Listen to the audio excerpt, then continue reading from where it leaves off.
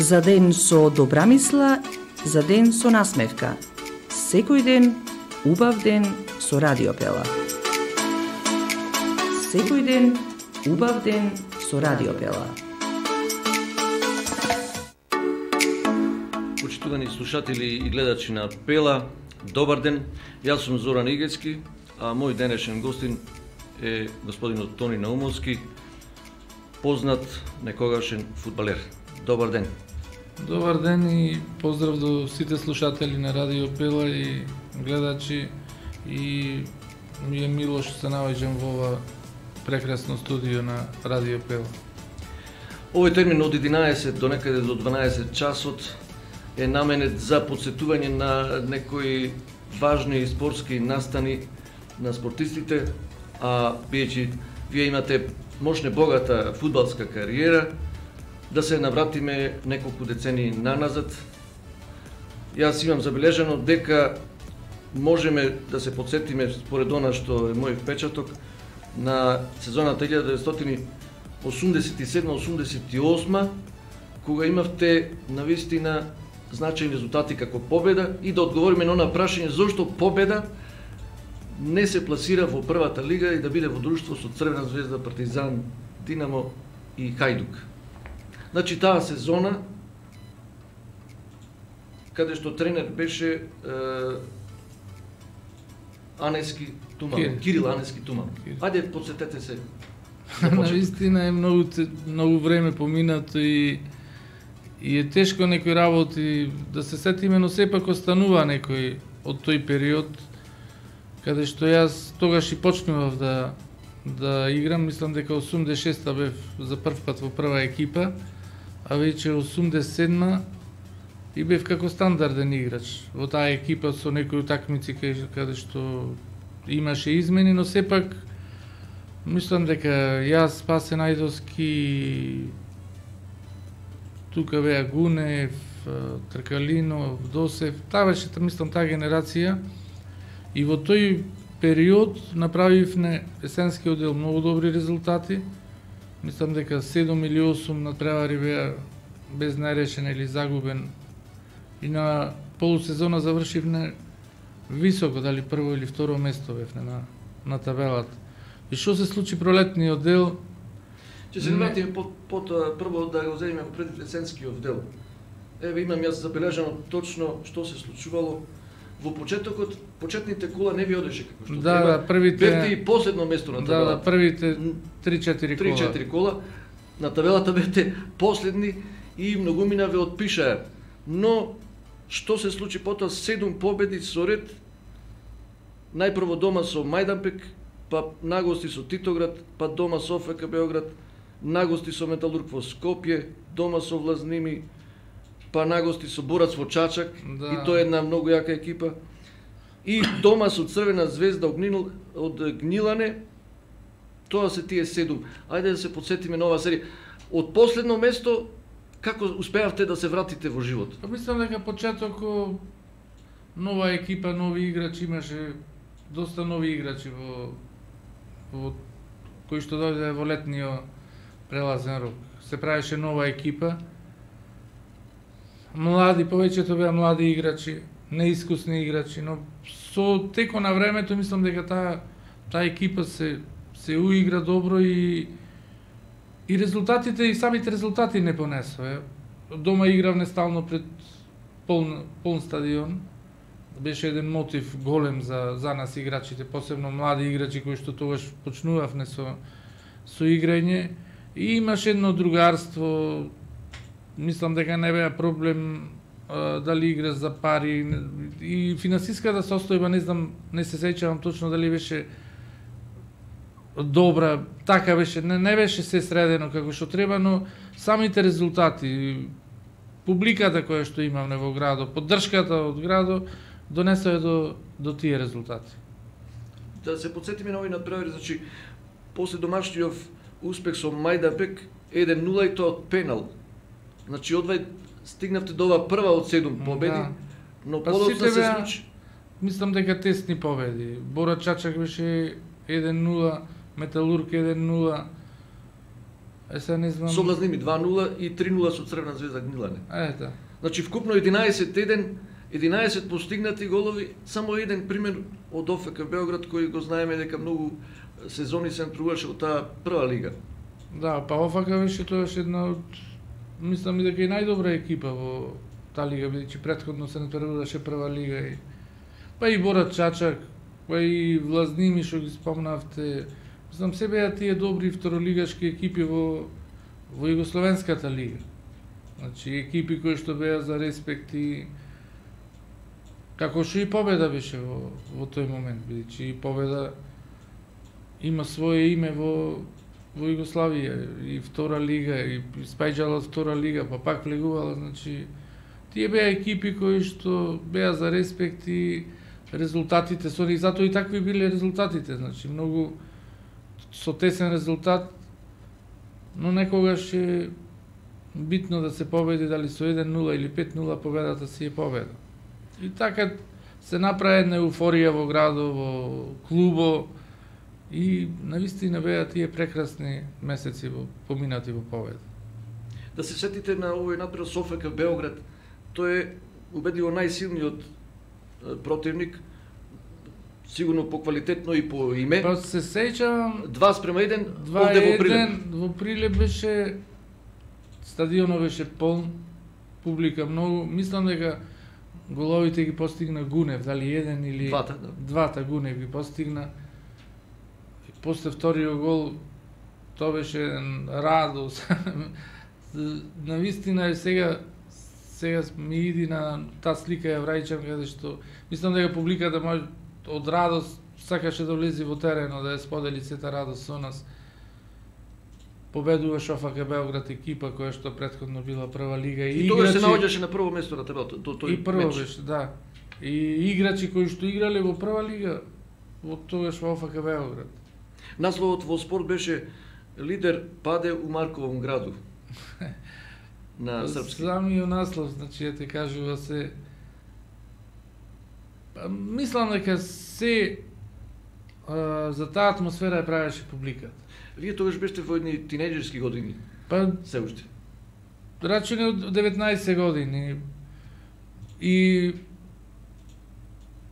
тоа за мене беше некој нешто што не може да се да се Како да беше во сон.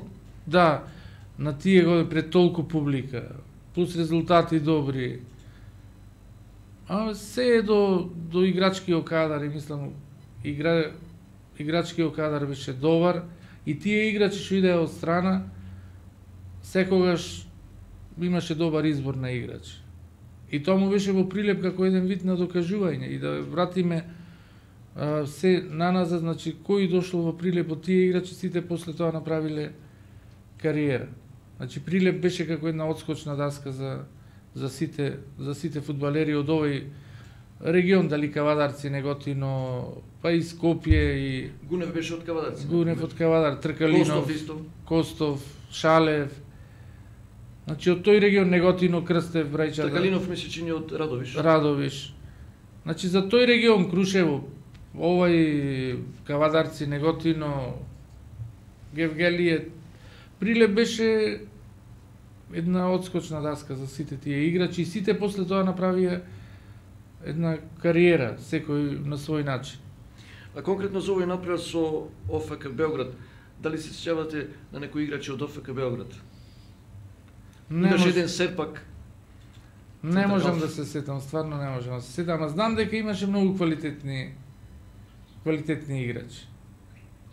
М, И знам, е, пред неколку години имаше еден тренер што беше кратко се задржа во победа сега. Тој ми рече дека играл на тој натпревар за ОФК Београд. а, И сликане на една фотографија сега ако оди на Телопот. Сигурно дека Кој тренер? Сега во моментов не можам да се сетам. Беше во победа три, Сега пред 2-3 неколку месеци беше. Да, Кратко знам, се знам за и кој. разговаравме и тој се сети на тој надпревар и викаше дека постојано од сите страни некој тапани слушалка и што тропаат и публиката постојано бучна му се причинувало дека се наоѓа во Англија некаде, на англиски стадион. Атмосферата на тој надпревар е неопислива, мислам, не може да се опиши со Тоа е исто онај надпревар кој што беше после тоа со Перуџа тука за Интер Тото или УЕФА, не знам кој беше. Некоја таква атмосфера беше. Значи полн стадион, публика многу гласна, навивачки, па резултатово прилог и Тоа е едно чувство кое што не може да се опише. Јас знам дека и после тој надпревар, значи, ние како, како фудбалери, ти било чест после тоа да излезиш чаршија, да разговараш, значи се зборувало до среда, четврток се зборувало за тој надпревар. А и ни било тешко кога ќе загубиме некој надпревар, па не можеш да излезиш. Не се не излегувале до среда. Не се појавувавте. Не се појавувавме. Сега е тоа се изменето. Сега никој, мислам, последниве генерации тоа го нема то, таа, таа одговорност. И мене навистина ми е жал што последниве, па колку да речам, 10 години со се казната и може и повеќе, нашиве деца што излегува од Прилеп како фудбалери не осетија таа атмосфера и таа одговорност пред прилепската публика. Не знаеш што што се случува да, изгуб, да изгубиш дома надпревар и после тие 3-4 дена да не можеш да излезеш едно кафе да се напиеш. Аз... Значи публиката беше многу критички настроена. Многу критички бидејќи и вие се сеќавате, мислам дека на секој да. тренинг ние имавме по 100, 200, 300 гледачи кои редовно го следеа тренинг. И тие знае се што се случува. И на тренинг и а после слаба утакмица. мислам дека не го дува, сигурно то негодување, тие критики, али секогаш биле добронамерни, јас никогаш не сум ги И јас сум бил... и понатаму да, да за да наредниот надпревар се трудиш да го изиграш подобро. И ни се труделе стално секој нареден надпревар. И јас и после секој надпревар ако сум добил слаба оцена, тоа што имаше оцени дали во спорт, во вечер, во Нова Македонија, Нова Македонија од новинарите, ако во понеделник имам слаба оцена, самиот не знам било тешко и сум се трудел стално да ни давало некој поттик и тие оцени и тоа известување од вас новинарите и вие сте биле критички настроени, нормално. Во тоа време сепак јас бив само највач. Да, да, во постарите Миле Талески, Башески, тие беа луѓето кои што, да, и Тасевски, кои што известуваја и И беше се реално. Данчо Трајковски исто беше. Данчо Трајковски, да. Сега да се вратиме на овие седум победи ги постигнавте веројатно со една макоторпна работа на тренерот Кирил Анески со неговите да. помошници. Па како работевте, како се подготувавте? Па да ви кажам, право, што беше фактор на успехот? А, летниот период, припремниот период беше многу тешок. Значи тешко и Кирил Анески имаше некои своји своји принципи на работа кои што дадоа резултат. Јас памтам дека секој четврток ни правеше еден тренинг кој што тешко можеше да се издржи на физички и играчи кои што одбрана, навала, стварно се работеше многу И затоа дојдоа тие резултати. Дали имаше некои новитети што до тогаш не сте ги виделе? Па, нов систем? Не е нов систем на тактика нешто или таква работа, али се работеше многу напорно. Тој беше принципиен, или сакаше работа, сакаше физички да биде спремна екипата. Значи физички бевне добро припремени и во припремниот период, и во такмичарскиот ден дел работевне физички добро и и тие резултати мислам и дека тоа физичка припрема дојде на тие надпревари. Се сеќавам дека на еден тренинг Димовски Владо кој играше во одбраната беше застанат иако беше центрхалф во тоа време таа терминологија се користеше центрхалф. Да. Беше застанат нагол и вие играчите му шутирате, а тој се трудеше да одбрани нагол како да е голман, но без раци. како играч кој застанал на гол. И имаше и такви ситуации. Мене ми се гледаш како некој новитет тогаш. Претходно не сум го видел. Па имаше и други новитети, на пример во кажувам или вторник или четврток тој тренинг беше каде што назад позади гол намерно намерно се поливаше со вода тревата да има многу вода па тука имаше клизачи старто и падо и, играчи кои што дотогаш не правеле никогаш тоа го правеа на на тој тренинг. Значи и јас и и Шпицо и и, и сите така така му беше принципот на работа и Значи да, за да се навикнете и на такви услови. Да, да, да. Тоа го работев не секоја недела. Значи еден ден тоа обавезно се работеше. Значи тренирате и на спортскиот центар и на да, градскиот да, стадион. Да, да. И на спортски и на на градски. Тогаш да се подсетиме голма беше Мирсат Јонус, па братно Фарук Јонус играше, Маријан Стојковски Манта, Да. Косто, Спасе Најдовски кој е во Австралија моментално, Миле Тодоровски, Тркалино, Коневски. Гунев, Миле Конески. Миле Коневски, да, беше исто. Ми се чини имаше некој од Србија, Е. Благоевич, Да не беше после тоа Благоевич. може би А, пролет, да, да, беше Благоевич, да, везен играч беше. Значи на, на сите позиции бевте покриени со квалитет. Па имавме и добра резервна клупа, значи секој играч можеше да го замени тој стандарден играч. И во тоа време мислам многу многу ретко беа измените. Костуру на екипата секогаш остануваше ист. Ако можеше една-две измени, жолти картони, повреда и и така. Што сега во, во овие денешни не не е тоа истото. Гледам дека ротира многу играчи, уморен замор. Што јас не го оправдувам тоа бидејќи добар играч може да изигра 16-17 кола без никаков проблем. Сега да се навратиме на серијава. Седум победи, но дојде на превар со Нови Пазар. Сите очекуваа и осма победа, но резултатот 0 спрема 0. Се ширеше низ градот коментар дека надпреварот не бил чист. Па Како се ширеше. Ние јас знаеш како деца А и некои од играчите тоа го признаа. 18-19 години никој сигурно нас не ни кажал ништо. Јас на тој натпревор не сум знаел, ни некој нешто ни спомнал, ни а може од постарите играчи да имало нешто.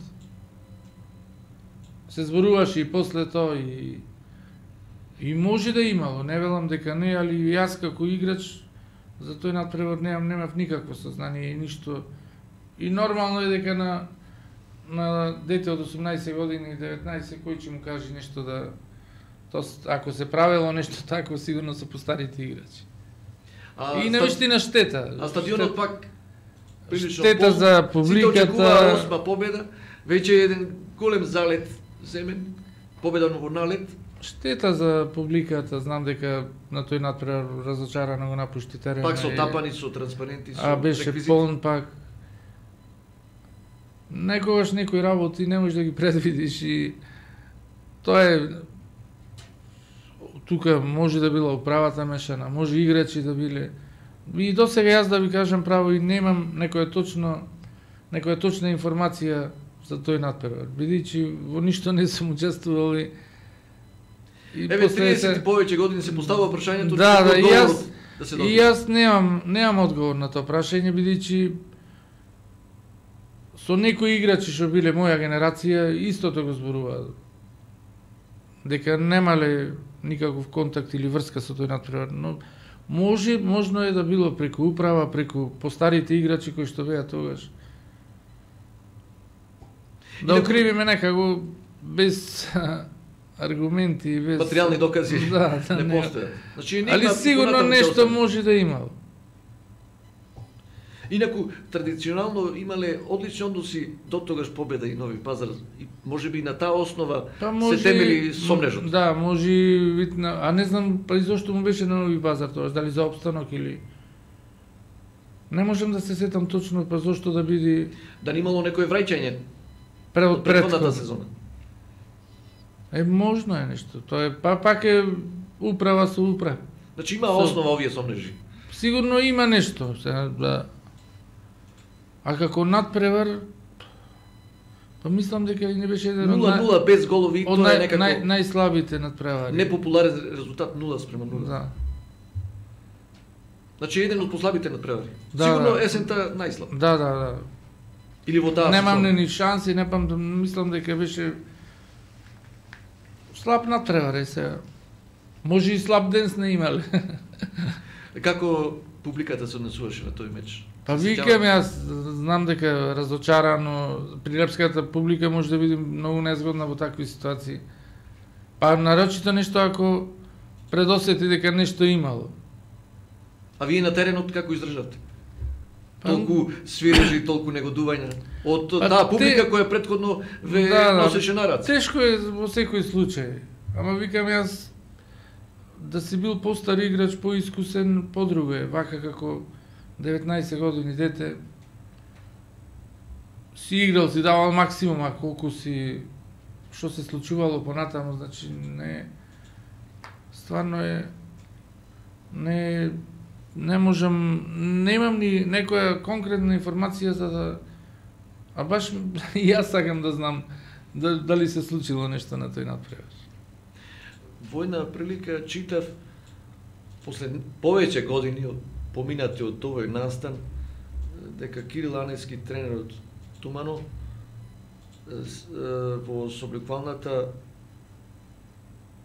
бил разочаран од некое појавување на некој член на управата кој дошол и му рекол дека треба да се одигра 0 спрема 0 и резултатот дури го диктирал тој член на управа или така се представил некој така што дали вие го забележавте Не. забележавте нешто кај Кириланески во пред надпреварот Па пред надпревар не можам да се сетам зоки стварно е многу време и и и да имало нешто, значи тој сигурно нас немало да ни каже.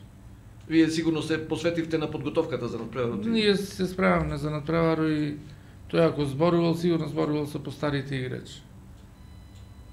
А ние- сигурно и тој бил разочаран ако се Па случило тоа. нормално дека бил разочаран бидејќи на тој успех од Седум сед, победи. седум победи на домашен терен некој ти вика денеска нема нема да победиш и дека на таа основа дека имаме за враќање еден бот да, да се врати бот.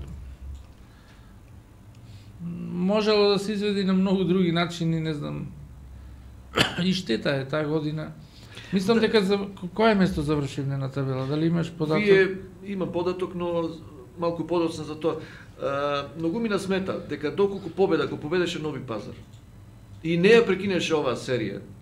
Значи тој налет продолжеше. Победа ќе беше нај сериозен кандидат за првото место и за влез во првата Југословенска лига која претходно ја споменавме. Дали се согласувате? Па се согласувам нормално дека ако тој надпревар го победевне, се менуваа многу работи. После тоа После тоа кој надпревар го игравме, загубивме во Потоа госте. загубивте 3-2 од мачва која беше прво место, биејќи вие е, Нерешено. извадовте нерешено. Мачва беше прва, победа втора или трета падна и 13.000 гледачи еве На кој надпревар? не подсетува На 0-0. За победа Нови Пазар. Значи 13.000 гледачи тоа е сепак огромна бројка. 13.000 негодувачи. Е, па, гледате какви грешки и тогаш се правели и сега се прават. Значи, не... Ние како играчи не може во тој момент ништо да... Дали ви е жал што ете не се искористи таа Па шанса за прва лига? Сигурно дека ни е жал, таква шанса не може да... Во тоа време, во таа лига, во... Таа беше јака Југословенска втора лига. Значи ги спомнаме од Црвена звезда до Па Партизан Хајдук, Динамо, колку- Сараево, Железница, Да, да. Војводина, Олимпија. Тоа че беше невиден успех за градот, за, за победа. Ма Во историјата никогаш не била поблиску до таа Да, ете секогаш нешто се најдува. некој да спречи, а сигурно тие од управата што биле некој не му мислел добро на на клубот. А Ако може му би мислел... такви биле околностите, не им било лесно и, и ним. Па може и да не му било лесно, али имало некој начин, друг начин да се договора на тоа му било може нај најлесно да и како можеле на при толку публика, при толку Али кај нас се е можно, гледате. А најтешко е кога има полн стадион. Па тоа не може да се преболи. Е, подосна вие ме прашавте и да ве подсетам, победа почнува да паѓа. Полека, полека се спушта подолу на табелата, а пролетта веќе е друга екипа и наместо да се бори за прва лига, таа не успева ни да го задржи статусот во таа, бијќи се формира единствена, лига во Југославија и само за Еден бот. еден бот девет екипи влегуваат во Во остануваат во во прва Б. во прва Б, односно единствена лига, а победа е 10-то место. Дали се сеќавате на тие? Па мислам дека последно со Иван град таму играв, не изгубив, не требаше бот ни фалеше на тој надпревар. Имам не многу киксеви, киксови пролетни одел. Не, не, со Иван град победивте 0-1 Таму во гости? во- на гости, но дома попусто беше победата над Лирија од 4 спрем 0. Еден силен дошт, пороен дошт имаше. А, па кај ни беа киксовите, не знам, не се сеќавам. Киксовите беа дома со А, Граднички со Крагуевац. Граднички 1-2. Крагуевац 1 Не ли играше Спасич кој играше на светско првенство по две години? Водевне, мислам, Југос- за 1-0 водевне Да. и пенал над Спасич имаше. И тука после тоа имаше некој Сомневање и за тоа. сомневање и за тој надпревар. Биќе беше од пенал, па и некако некој И пенало не беше беше направен скроз таму на страна на И по некоја почетничка грешка ми се чини така во сеќавање ми. Сега не постојат снимки да се сподсетиме бидејќи поминале 32 години и повеќе. Мислам дека и онус бранеше тоа. Мислам и- дека онус беше две и- сезони во И клуб. тој го направи пенал. Мислам дека тој го направи пенал. И по тие киксови. Значи тешки моменти. Па знаеш, ко че испаднеш од лига, тогаш е најтешко. Потешко нема. А прва Б лига беше и таа беше многу квалитетна лига после тоа. И таа лига ги Ви сврлаше за прва Е. ги земаше во предивите екипите од цела Југославија. Од цела Југославија значи, беше. Че игравте и со словенечки екипи. И со Винковци, и со не знам таму кој бе хрватски. Гошк, Југ.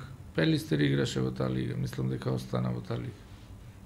Точно Пелистер беше како представник и Беласица подоцна се приклучи од Струмица. Е, значи, од Тоа е невиден од пат, прво значи, место да. паднавте на 10-то, од големо воодушевување дојде Дали до големо остана- разочарување. Дали остана тренер тоаш Кири Анески? Кирил Анески остана, меѓутоа јас се сеќавам дека вие се преселивте во Пелистер. После летото, да. Летото јас и Милан Значи следна Тодоровски. дестинација ви беше Пелистер, после ова разочарување, изгледа и Па трета- добро одбравте што се преселивте во Да, да. посилен во повисок ранг. Па трета лига испаднавме и мислам и ситуацијата беше многу лоша во, во победа во тој момент. Како финансиски, играчки, и јас и Милан Тодоровски заминавме во, во Пелисера, Тркалинов замина во напредак Крушевец од таа генерација. Не, Гунов. Гунев замина во не, не и Тркалинов замина. Но Гунев и постигна и Да. прволигашки голови. Да, тој Бијќи играше, напредок, а... напредок влезе во прва лига. Напредак беше во прва Б, исто играмне во Битола, јас второ коло играмне во во Битола Пелистер напредак Крушевец. Баш и Тркалинов беше, ама не беше во состав во таа екипа. Но тоа зборуваме веќе следната сезона Следната кога сезона, напредок да. отпадна. Да, да. Бијќи една сезона се задржа во прва лига напредок од Крушевец. А, Вие кратко одигравте во Пелистер, бијќи имаш нешто проблем со Во регистрацијата. Пелистер беше проблем со регистрацијата. Тогаш се регистр... немавме договор и се регистрираме со картонче. Значи, а картончето го потполни од Битола што беше секретаро и тој го потпиша. Јас не го потпишав дали не бев тука или нешто и се тоа го откри а, секретаро на Победа Бог да опрости Баја. Баја. Благоја Велковски бај. Да. И ни направи таков проблем што мислам дека дека многу многу ми значеше во натамошната кариера. Значи прво коло ние игравме а, прво коло во Битола напредак Пелистер напредак Крушевец. Милан Тодоровски, јас Милан Тодоровски играше прва постава, а јас бев резерва. А во исто време во Пелистер, во летниот преводен рок дојдоа Чирич, Сашо Милошевски, од Металург и ние од Победа. Значи, значи многу силна конкуренција. Конкуренција многу силна и јас бев во конкуренција со Чирич. Значи на исто на исто место игравме. На полувреме беше 0-0. Излезе Чирич и јас влегов. И на тој надпревар наместив гол и го дадов први првиот гол. Победивме 2-0. И веќе значи тоа може да се каже дека ви е еден од најзначајните надпревари. Па најзначајните и мислам дека од тука ќе почнеше многу а тренер беше Джоко Хаджиевски за за Пелистер. Второ коло играме Динамо Винковци. Јас играм прва постава и исто еден еден завршува надпреваро, задоволни се. И трето коло играме дома со не знам дали Цибали ја беше или не знам која е екипа. И се цела недела работиме прва постава и петок беше, памтам, и после тренинг ми вика Джоко Хаджиевски в канцеларија, вика Тони в недела немаш право да играш. Како немам право? Вика победа ја спорува регистрацијата.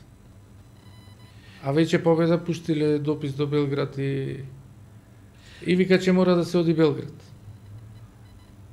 И неделата јас не играм. Почнува Чириш да игра. Ниту Миле Тодоровски исто. Не, Миле играш. Миле си беше регуларно. На него не се однесуваше. Не се однесуваше, тој си имаше подпишано на картонче. И ние имаше во Белград на арбитража, појдовме таму и Бајо и ние од Пелистер председател и ние паднавме на арбитража таму и мене ме врати ево победа. Немав право. А зошто и Миле Тодоровски се врати? Не се врати Миле. Тој период ги остана Миле 6 месеци беше во во Пелистер. Значи малку подоцна се врати. Да, да, неговата регистрација беше во ред.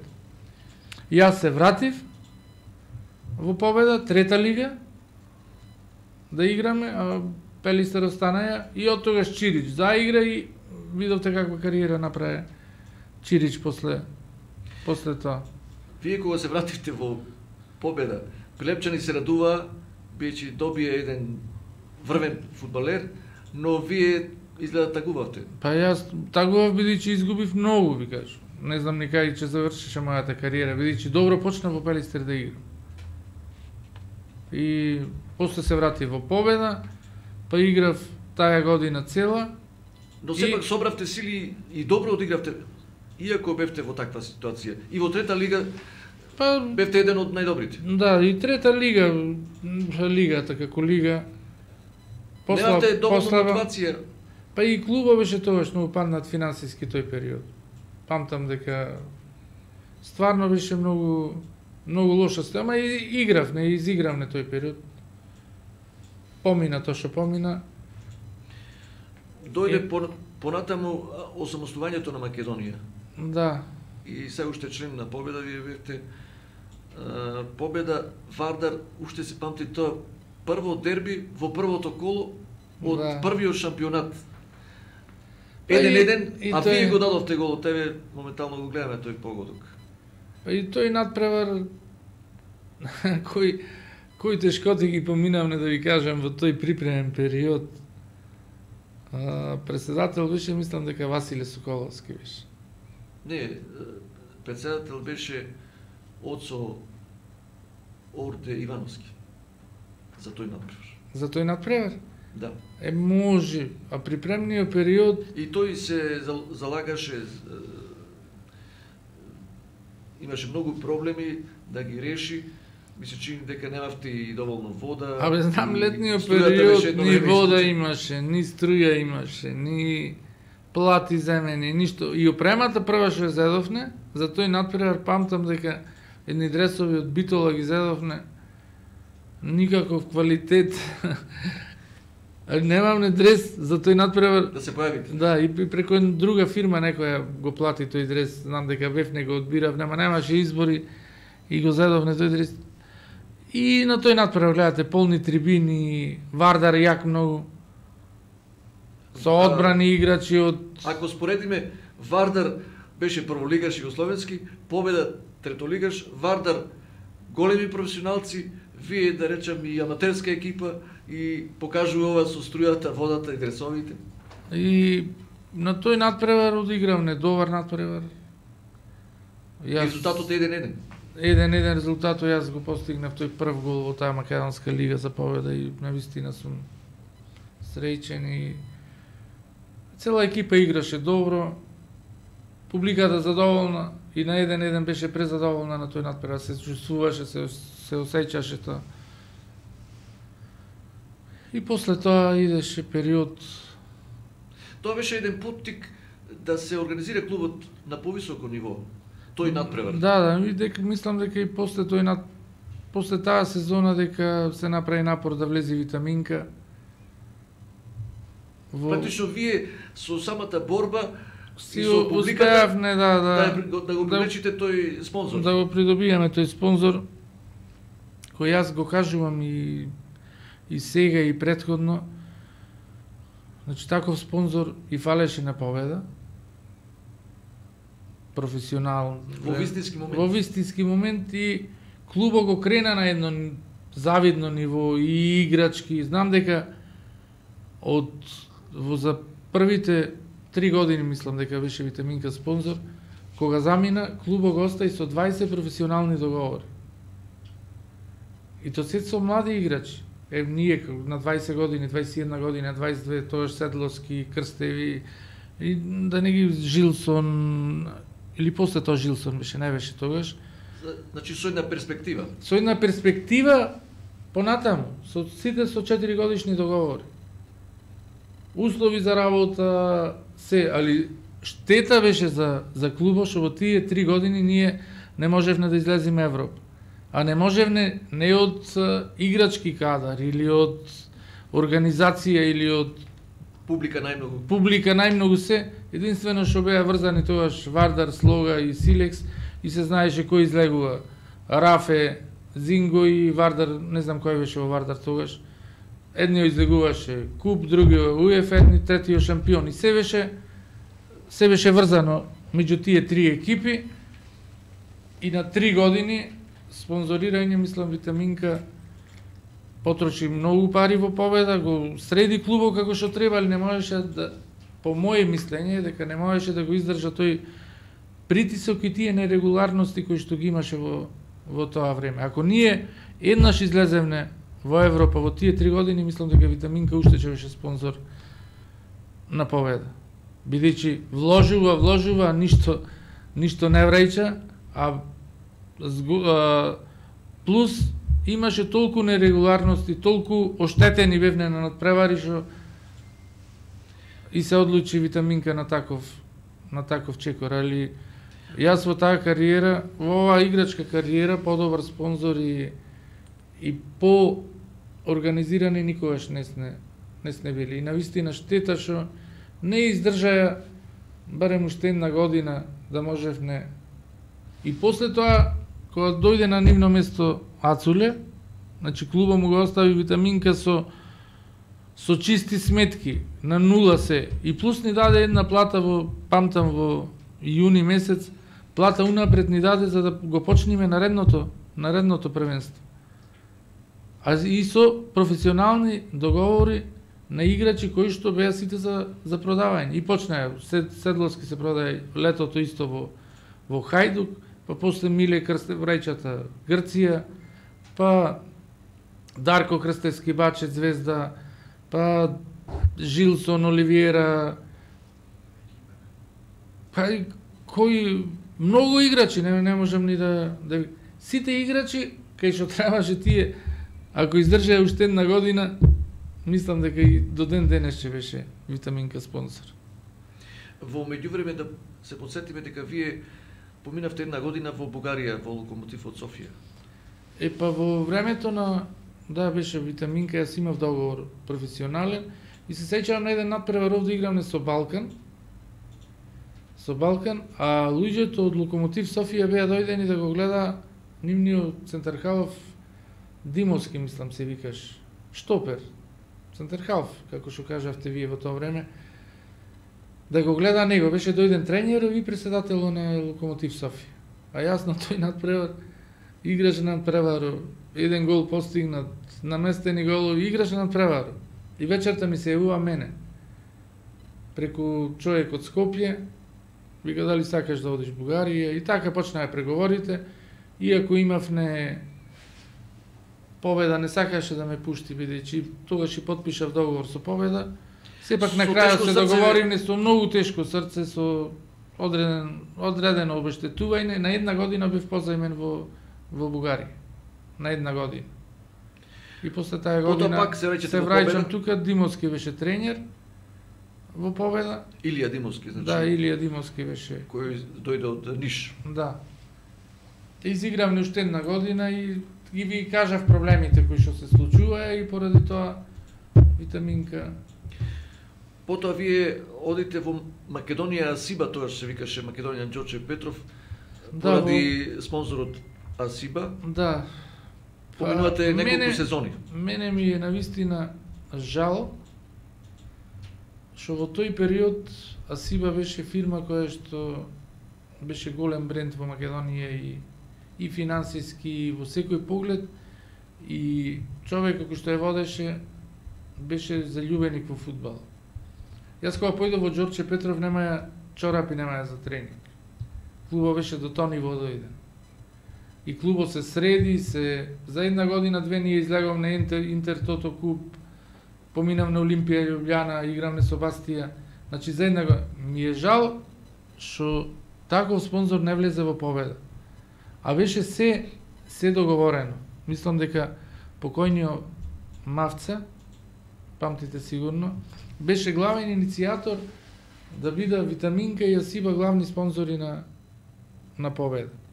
После тоа имаше Собрајчајка и после неговата смрт тоа сето се заборави и, и како го наговорија газда во Дасиба за во Джорче, ни сами ја не знам, да влези во таков клуб, а можеше комотно да влези во победа.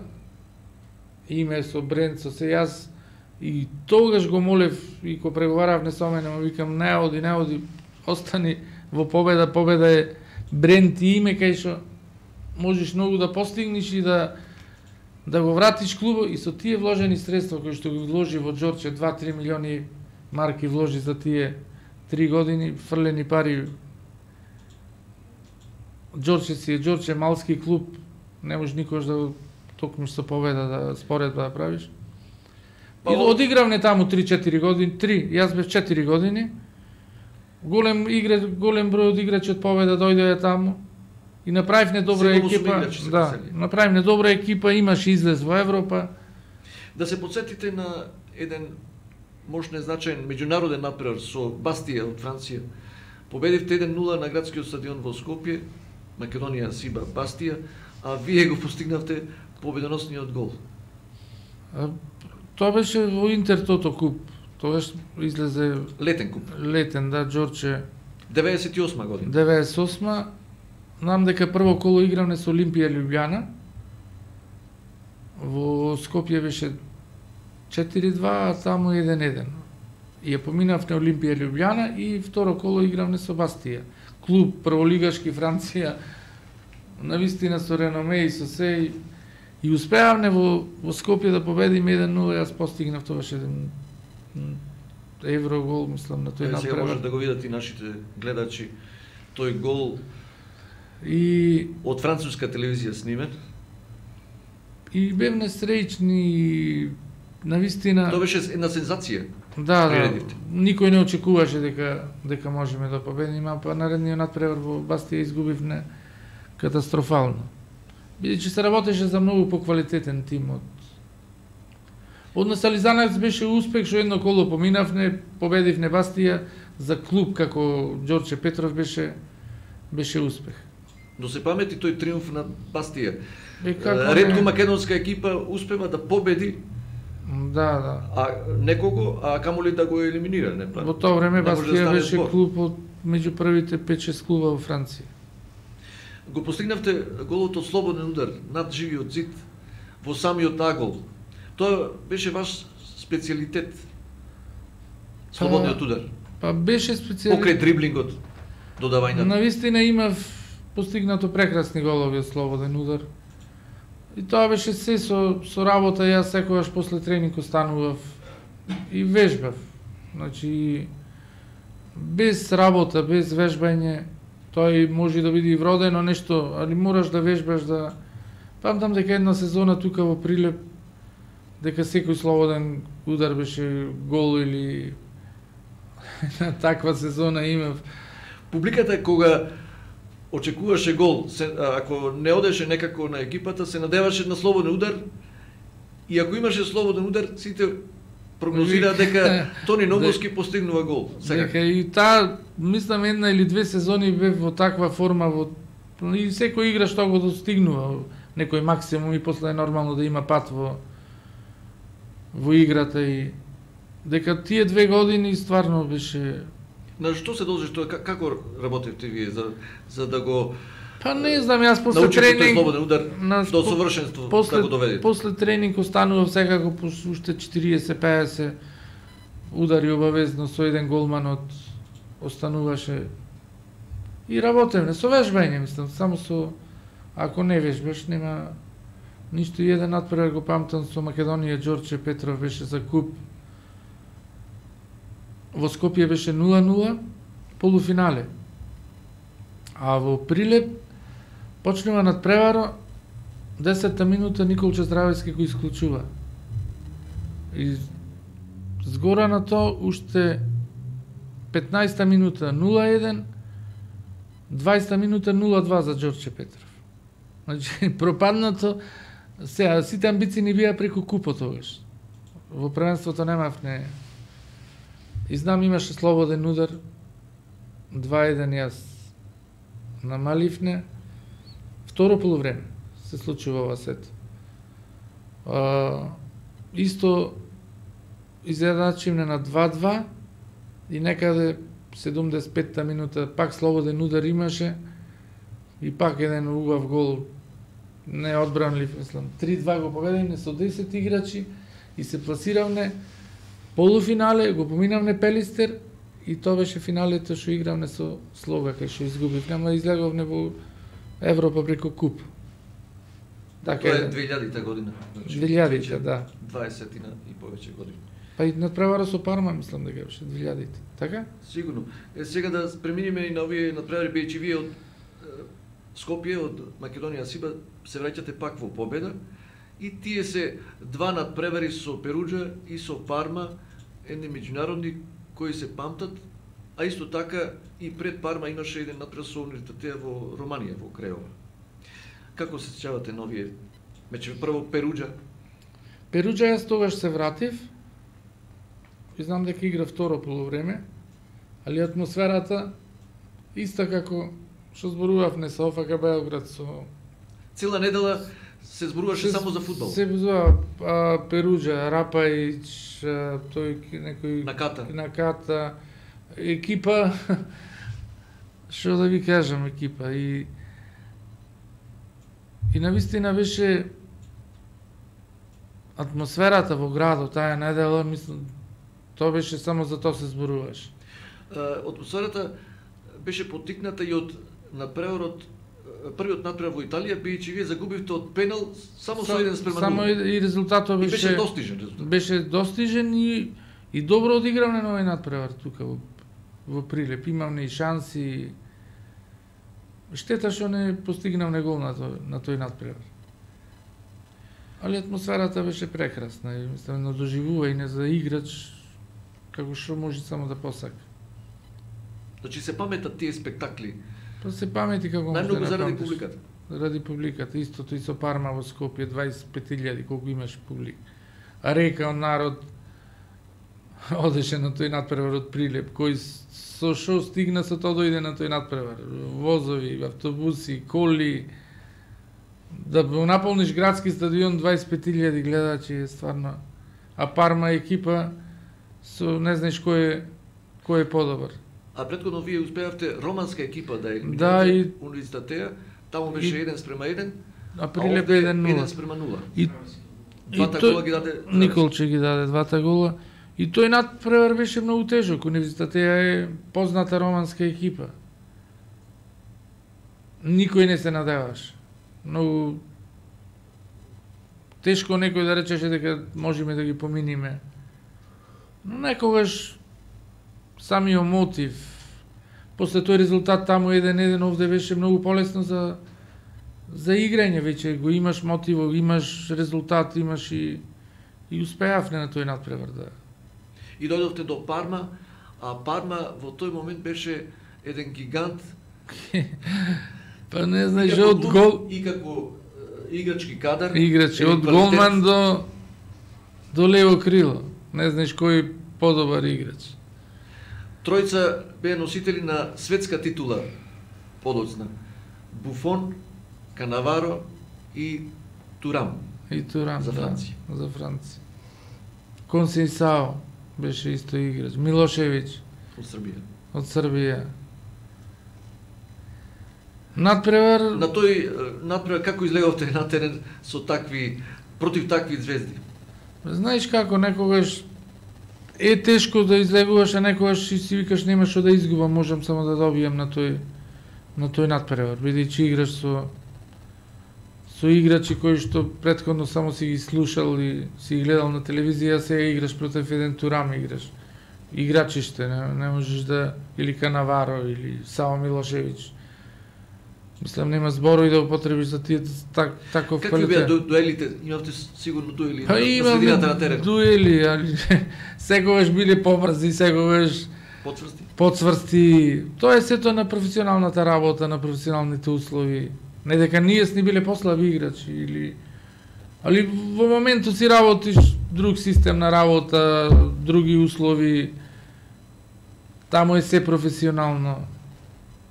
И ние да сни биле таму во Италија, може и некој од нас ќе бил Но тие претходно знаечи дека вие елиминиравте противник од Романија, па се прв... почувствува дека тие се подготвеа за во Скопје како да одат на светско првенство. Па чим ти Со излегува комплетниот состав. со комплетен состав, значи дека дека имаја респект према према победа.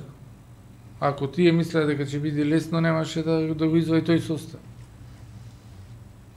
Си донесоа и собствен готвач, се сеќавам, дека се беше подредено за да Најпрофесионално, Зоки, најпрофесионално. Значи, така си ја сватија работата и и резултатот не беше висок резултат, не беше беше нешто... 0 спрема 2. Да. Прво полувреме 0-1, мислам дека беше.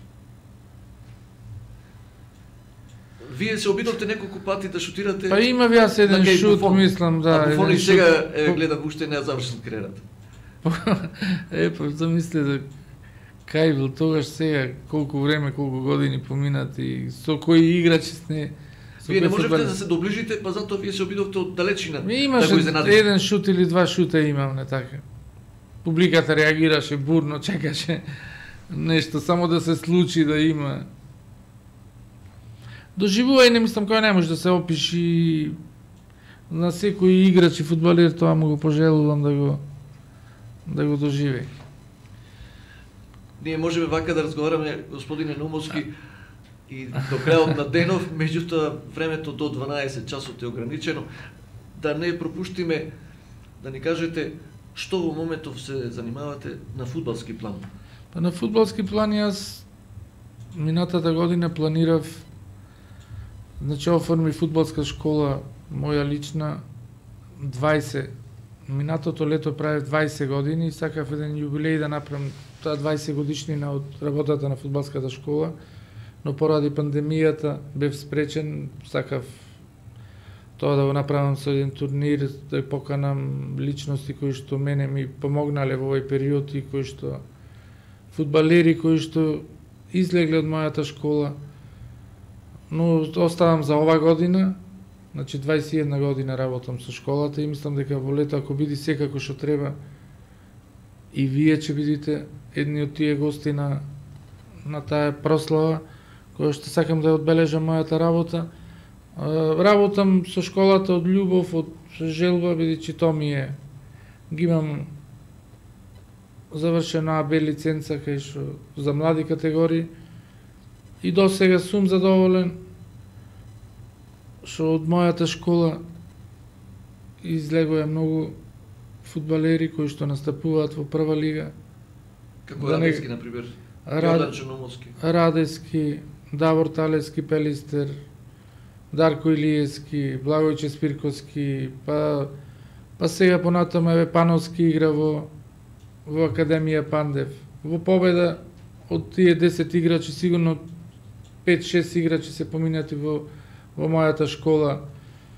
Лука Трајковски, еве Марио Наумовски Брегалница, Јордан Чотиквеш, и уште многу многу нека ми извина да не ги да не заборам значи многу деца кои што а единствено ми е жал што овие деца не настапуваат за ФК Победа кај што може да ода да максимумо и победа да не да не мисли во наредните 4-5 години бидејќи победа секогаш била јака кога има домашни играчи кога Костуро е од домашните играчи 6-7 играчи да се домашни играчи, другото може да носиш. А кога од страна ти имаш 11 играчи во победа, не не рачуне на успех и никоја екипа нема да го да го има тој успех. А, Значи работам со школата, вклучен бев и во фудбалска академија на на Македонија во Прилеп од, отворена е пред 5 години имаме во склоп на гимназијата.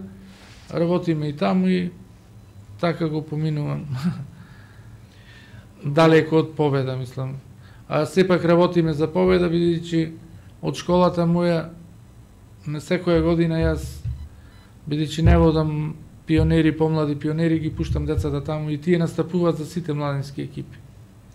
Во друга прилика се надевам дека ќе имаме можност да позборуваме за актуелни состојби, но тука го завршуваме разговорот. Мислам, Зоки, дека дека и треба и вие како новинари и, и да дајте еден поттик и да се собери а, фудбалските работници да се собера бидејќи оваа ситуација сега моментално што е не е добра за за градот Прилеп и за фудбалскиот клуб Победа.